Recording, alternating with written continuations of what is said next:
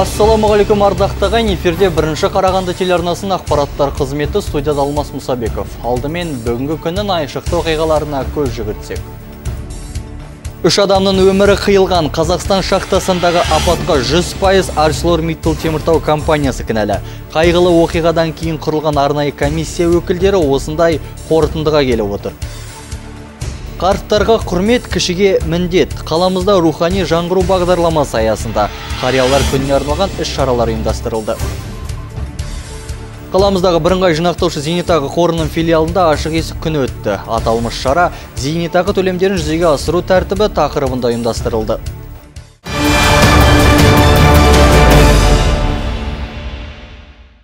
Үш адамның өмірі қиылған Қазақстан шахтасындағы апатқа 100% жұмыс берушілер, яғни ArcelorMittal теміртау компаниясы кінәлі.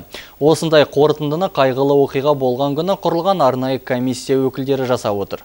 Үш кеншінің жұмыс берушілердің салғырттығынан қаза тапқаны толықтай дәлелденді. Бұл туралы арнайы тексеріс актілерінде айтылған. Қазақстан шахтасындағы апаттың себебін бір айға жуық екі бірдей сарапшы топ анықтаған еді. Олардың қатарында Мәскеуден келген екі маманда бар. Тексеріс барысында Қазақстан шахтасының 29 кеншісінен сауал жиналды. Сарапшылар апат кенеттен болған соң қайтыс болғандар құтқару қондырғысын киіп үлгермей газға уланып қалған дейді Да, мы считаем, что одной из причин... Біз компания басшылығының кәсіпорнында кен жұмыстарын атқаруға байланысты қолда бар ғылыми жұмыстарды қолданбағанын анықтадық. Апаттың шығу себебі осыдан болған. Төтенше жағдай 925 тонна көмір мен 161 куб метр көлеміндегі газдың таралуынан болған. Арнайы комиссия өкілдері ұсыныс хаттарды жолдады. Оның көбі Алпауыт компанияға жіберілсе, тағы бірнешеуі өндірістік қауіпсіздік органына бағытталды. Ең басты біз апат болған учаскеде жұмыс істеуге тыйым салынатынын айтамыз. Қазірдің өзінде ол жерде жұмыс тоқтатылған. Ол жерді ретке келтіріп оның еңбек етуге қауіпсіз екеніне көз жеткізуіміз керек. Сарапшылар компания кен қазу барысында кенеттен болуы мүмкін апаттардың алдын алу үшін тиісті қауіпсіздік шараларын толық қолданбағанын да мәлімдеді. Сондықтан ғалымдарды тарта отырып жер қыртысын алдын ала зерттеуге кеңес берілді. Еске сала кетейік тамыздың 31 күні қазақстан шахтасында кенеттен метан газы мен көмір қыртысы жарылған болатын. Салдарынан 600 метрден астам терең жер астында үш кенші қаза тапты. Тағы төрт жұмыскер жарақаттанып қалған еді. Мейрамгүл салқынбаева жасұлан мақұлбеков дастан шанин бірінші қарағанды телеарнасы. Қарттарға құрмет кішіге міндет. Қаламызда рухани жаңғыру бағдарламасы аясында қариялар күніне арналған іс шаралар ұйымдастырылды. Осыған орай Қазбек би атындағы ауданның әлеуметтік көмек көрсету бөлімшесі де қадірлі күнді қалыс қалдырмай арнайы дастархан жайып мереке иелеріне сый сияпат жасады. Бас қосуға 30-ға тарта қонақ шақыртылған зейнеткерлер және соғыс еңбек ардагерлері әңгіме дүкен құрып би көңілдерін көтеріп қайтты әдеттегідей аталмыш мереке қарсаңында соғыс және еңбек ардагерлеріне сонымен қатар зейнеткерлерге алғыс білдіру жақсы дәстүрге айналған. Әлеуметтік көмек көрсету бөлімшесі жайған дастархан мен қамқорлыққа қарттар дән риза. Сондай құрметке бөлінгендердің бірі шайзат аспанова. Айтуынша бір кездері өзі де әлеуметтік көмек көрсету бөлімшесіне жұмыс атқарған екен. Ал бүгінде керісінше өзі көмек алуда. Жақсылық жасасан алдынан шығады деген сөз дұрыс айтылған дейді зейнеткер. Енді бұл кісілердің шақырғаны рахмет. Мәселе ол шақырған емес қой. Үлкен кісілер бірімізді біріміз көріп бұл кісілермен телефонмен сөйлесеміз а мынандай бетпе бет кездескенімізге рахмет. Ізгілік пен құрметке негізделген атаулы мерекеге мектеп оқушылары да ат салысып өз өнерлерін көрсетіп қайтты. Аталмыш шараны ұйымдастырушы жұпар смайлованың сөзінше тек дәм татумен шектелмей үйлеріне барып арнайы сый сияпатымызды беріп тағы құттықтап шығамыз дейді. Үйге барып құттықтаулар болады. Э, осы қарағанды қаласының э, жаңағы супермаркеттер бар магазиндер бар кафелер бар ресторандар бар. Ол кісілерді бізге ат салысып осындай іс шараларға әрдайым көмектесіп отырады. Әрдайым сол үйлеріне барып құттықтаулар жалғасады.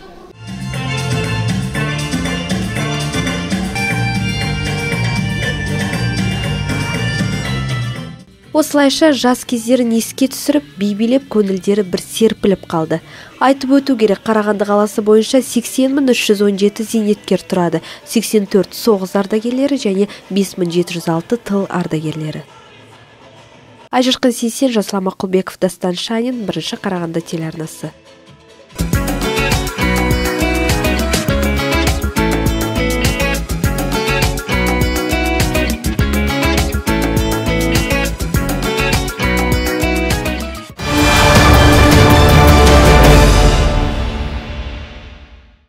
Евгений Арсанұлы Бөкетов атындағы Қарағанды мемлекеттік университетінде қазақ тілін латын графикасына көшіру мәселесі талқыланды.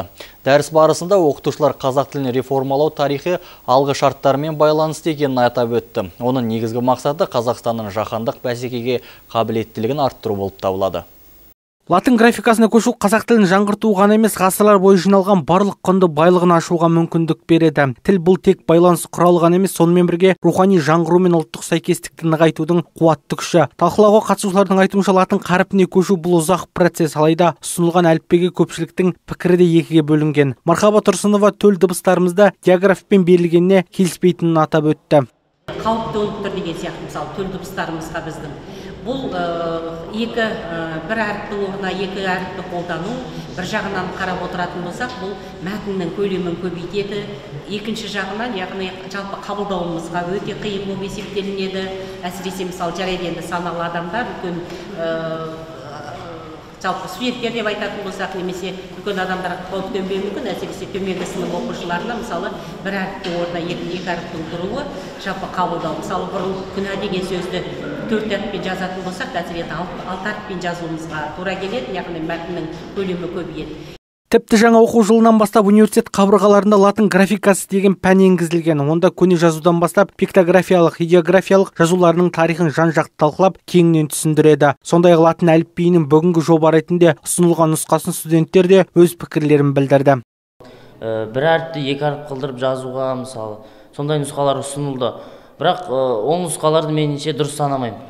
Өйткені ол нұсқалар келіп қалса кейбір сөздерде мысалы кереғарлық туындайды. Мысалы я деген әріптер оларды кішкене ойластыру керек. Екі дыбыс екі дыбысты әріптерді ойластыру керек. Оны қалай жазамыз толығымен? Әрине нұсқалар бар бірақ кішкене ыңғайсыз нұсқалар. Жаңа алфавит бойынша оқытуға кадр даярлау және оқулықтар әзірлеуге дайындықты бастау керек. Білім беру технологиялық және коммуникациялық кеңістікке шығу бағытында үлкен жұмыс жүргізу қажет. Бұл әрбір маманның кез келген білім саласындағы күш жігерін талап етеді. Мұның бәрі ағылшын тілін жаппай игеру үшін қолайлы жағдай туғызады және қазақстанның әлемдік ақпараттық қауымдастыққа сәтті кіруіне мүмкіндік береді дейді университет оқытушылары мен студенттері. Жанайдар майкен айжарқын сейсен шанин бірінші қарағанды телеарнасы.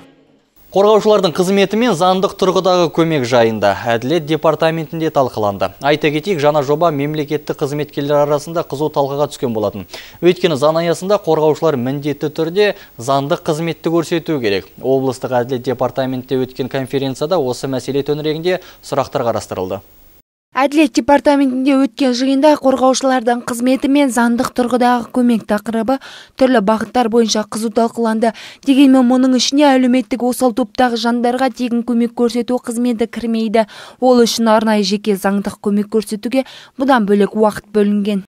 В этой концепции подчеркивается необходимость совершенствования конституциялық құқық нормаларын әрі қарай жетілдіріп дамыту керектігін дәл осы құқықтық жобада түсіндіріледі. Себебі бүгінгі таңда қоғамда өзекті мәселелер өте көп. Сондай мәселелерді шешетін бірден бір жол осы құқықтық норма.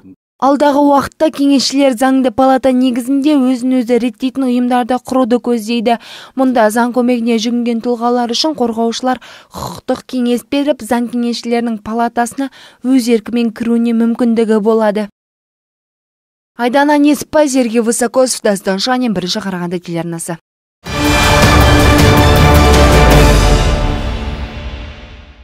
Ал облыстық денсаулық сақтау басқармасында өткен арнайы конференцияда емханалық инфекцияның эпидемиялық жағдайы талқыланды. Іс шараға Мәскеудің эпидемиология және микробиология институты жетекші маманы қатысты. Ресейден келген қонақ эндоскопиядағы жұқпалы қауіпсіздікке байланысты өз тәжірибесімен бөлісті бүгінгі таңда емханаларда инфекциялық қауіпсіздік басты мәселелердің бірі болып отыр. Медициналық тәжірибеге жаңа эндоскопиялық және лапароскопиялық жабдықтар енгізілуде. Аталмыш құрылғылар күрделі хирургиялық оталардың сәтті аяқталуына мүмкіндік береді. Алайда мұндай жабдықтарды залалсыздандыру қиынға соқтырады. Мәскеудің эпидемиология және микробиология ғылыми зерттеу институты соңғы он жылдан бері эндоскопиядағы жұқпалы қауіпсіздіктің проблемасымен айналысып келеді. Сондай ақ институт мамандары әртүрлі елдердегі әріптестермен тәжірибе алмасады. Все мы движемся вперед. техникалар дамып келет қазіргі таңда эндоскопиялық құрылғымен ота жасау сәтті аяқталғанмен оны залалсыздандыру өте қиын. Әр адамнан бұл құрылғыны залалсыздандыру үшін шыдамдылықты талап етеді. Мәселенің өзектілігі кез келген инфекциялардың қауіптілігіне байланысты болады. Татьяна гринкова қазақстанда емханалық инфекциялардың мәселесіне айрықша назар аударылатынын атап өтті. Мәскеу институтының мамандары республикамыздың барлық аймақтарына жиі келіп тұрады. Айта кету керек соңғы үш жылда қарағанды облысының медициналық мекемелерінде үш миллиардтан астам теңгеге заманауи медициналық техникалар сатып алынған. Қаражаттың басым бөлігі эндоскопиялық жабдықтарға жұмсалған. Осыған байланысты мамандарды жаңа құрылғылардың қызмет көрсету әдістерімен үйрету қажеттілігі туындады. Последние годы соңғы жылдары денсаулық басқармасы қарағанды облысының әкімдігінің қолдауымен емханалардағы медициналық құрылғыларды жаңартты. Көптеген құрылғылар тек облыстық ауруханада ғана емес облысымыздың барлық қалалары мен аудандарында да қамтамасыз етілген. Мәскеудің эпидемиология және микробиология институтының маманы татьяна гринкованы қаламызға арнайы шақырттық. Конференция барысында білімді маман өз тәжірибесімен бөлісті. Конференция барысында емханалық инфекциялардың қазіргі эпидемиологиялық жағдайының мәселелері талқыланды. Сондай ақ профилактикалық іс шаралар кешен ұйымдастыру және жүзеге асыру мәселелері қарастырылды. Айдана несіпбай дастан шанин бірінші қарағанды телеарнасы. Қаламыздағы бірыңғай жинақтаушы зейнетақы қорының филиалында ашық есік күні өтті. Аталмыш шара зейнетақы төлемдерін жүзеге асыру тәртібі тақырыбында ұйымдастырылды. Сонымен қатар жиын барысында келер жылғы жаңашылдықтарды мекеме келушілеріне түсіндіру жұмыстары жүргізілді. Себебі 2018 жылдан бастап зейнеттік жасқа толғандар зейнетақы қорынан алатын қаражатты таңдамалы түрде емес тек бір бағытпен ғана ала алатын болады. Бүгінгі ашық есік күніне келгендердің бірі Алтын Екібаева. 57 жастағы қала тұрғыны зейнеткерлікке шығуға енді ғана өтініш қалдырған екен. Бүгінгі отырыста көкейінде жүрген сұрақтарға тиісті жауап алған зейнеткер аталмыш орталықтың қызметін жиі пайдаланатын және көрсеткен қызметтеріне көңілі толатындығын жеткізді. Дегенмен болашақта зейнеткерді зейнет жасының ұзақтығы алаңдататынын айтады. Жұмыскерлердің жалақылары 50-60 мың соған қарағанда бұл кісілерге қандай үкіметтен көмек болады екен? Бұл кісілер 63-ке дейін жетелі ме екен осындай ә, жалақысымен менің ойым бұл? Соны көргім келеді. Потому что ол оңай емес. Ол кісілерде ежемесячно например 5 мың 60 мың.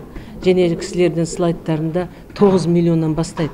Сонда кейбірлердің көзіне жас алғысы келеді. 9 миллионға жетелем ба? Жете алмаймын Жиын барысында зейнетақы төлемдері жайында арнайы дайындалған бейнебаян келушілерге көрсетілді. Мекеме басшылары ағымдағы жылы зейнетақы төлемдеріне енгізілетін өзгерістерді атап өтті. Ашып айтсақ, бұрындары зейнетақы төлемдері алушының таңдауы бойынша беріліп отырған. Ендігі бірінші қаңтардан бастап ай, жыл 90 сайын емес, тек біркелкі ай сайын ғана берілетін болады. Бұдан бөлек мамандар келушілердің түрлі сұрақтарына жауап берді.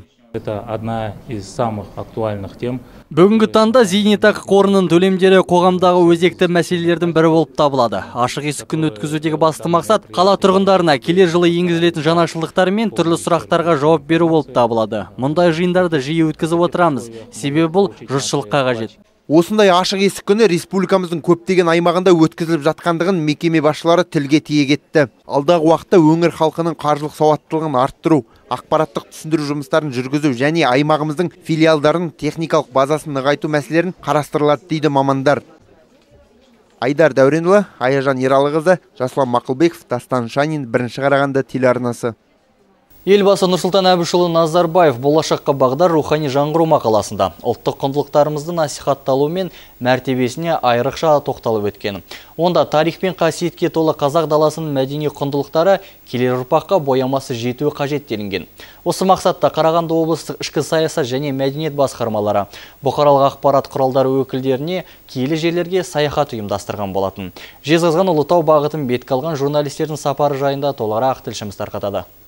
Тарихшылар Жезқазған аймағын Сарыарқа даласындағы киелі мекендердің астанасы дейді. Себебі мұнда 300-дің бас қосылған ұлытау мен атақты қазақ хандары жерленген орындар бар. Журналистер сапарының алғашқы аялдамасы Терек Тәулие ескерткіштер кешенінен басталды. Жезқазған қаласынан 90 шақырым жерде орналасқан киелі орын арқадағы тасқа бейнелеу өнерінің көне ескерткіші болып табылады. Өткен ғасырдың 40 жылдары академик Әлкей Марғұлан осы ескерткішке алғаш рет назар аударып қысқаша сипаттама беріп кеткен. Тастағы таңбалардан басқа бұл маңайда қасиетті мінәжат орындары мен ежелгі өркениеттің іздерін байқауға болады. Дәп қазір біз мына теректі әулие кешенінде тұрмыз. Теректі әулиеде ә, жалпы айтқанда бұл тас дәуірінен бастап неолит энолит сонымен қатар ана қола дәуірінің ескерткіштері ә, ерте темір дәуірінің ескерткіштері шоғырланған үлкен бір кешендердің бірі болып саналады. Жалпы теректі әулиедегі ең ә, көрнекті былайша айтқанда ескерткіш болып саналатын себептердің бірі бұл жерде петроглифтер көп шоғырланған. Осы жерде мына қарап отырсаңыздар үш төбенің басында тасқа салынған суреттер мысалы петроглифтер петро камень глифа рисовать чертовать чертить деген мағынаны білдіреді. Жалпы 90 пайызға жуығы жылқы бейнелері кездеседі. Теректі әулиеден соң біз атақты шыңғыс ханның үлкен ұлы жошы хан кесенесіне ат басын бұрдық. Жошы хан туралы тарихта сан түрлі аңыздар көп. Бірақ жошы шын мәнінде өмірде болған адам. Қазақ хандығының бастауы саналатын жошы ханда тарихта ержүрек батылдығымен қалған. Жошы кесенесі жезқазған қаласынан қырық шақырым жерде орналасқан. Хақназар ханды ә, баба сұлтан өлтіріп ә, содан кейін баба сұлтаннан кек алу мақсатында тәуекел хан шұғай хандар ә, тәуекел шұғайлар жаңағы әскер алып келген осы жерге. Сонда баба сұлтанды осы маңайлардан ұстаймыз деген ой ғой. Сонда осы жошы ханның маңайында болғаны туралы 1580 жылы абдаллах хан өзінің абдаллахнама деген кітабында жазып қалдырған екен. Жошы хан кесенесінің солтүстігінде домбауыл ескерткіштер кешені орналасқан. Ғалымдардың пікірінше бұл кешен орталық қазақстандағы ең көне құрылыстардың бірі саналады. Бір деректерде домбауыл ғұн дәуірінде салынған деп те кездеседі. Ал аңыз бойынша бұл кесене ұлы сазгер және жауынгер домбауылдың құрметіне салынған дегенде ақпараттар бар. Көбіне қазір бізде аңыздар бойынша домбауыл ескерткіші деп айтады.